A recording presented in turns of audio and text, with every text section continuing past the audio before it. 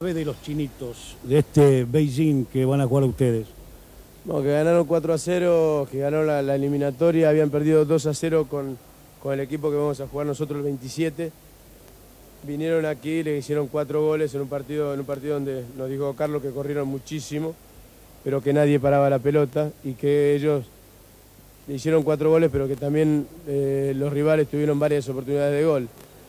Nosotros, eh, por, más que, por más que los chinos corran, por más que los chinos jueguen con su público a favor, lo que vamos a hacer es jugar al fútbol. Es lo que yo le dije, le decía a Carlos, ¿cierto? Si ellos imprimen velocidad, nosotros le vamos a tener la pelota, vamos a, vamos a, cuidarla y en el momento justo sacar la velocidad, ¿no? Bueno, cerré los ojos, pero no, no, me lo abra, ¿eh? Cerré los ojos, ¿eh? ¿Te gustaría, ¿Te gustaría un despertar así? Toma. Por supuesto que sí. Por supuesto que sí.